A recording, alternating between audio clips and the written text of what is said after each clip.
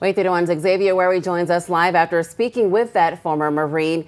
Xavier, when is he leaving to head out to Ukraine?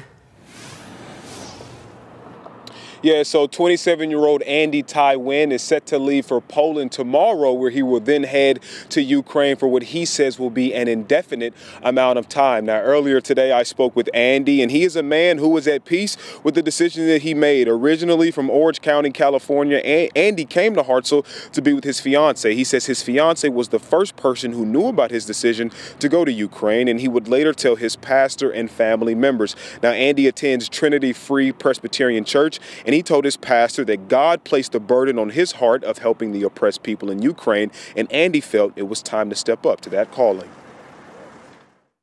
Wow. Admiration is all I can say, you know, for a young man to do that, be willing to give up everything. He's already done his time in the Marines, and but willing to go and help those folks. I think it's just a very wonderful, wonderful thing telling about his character.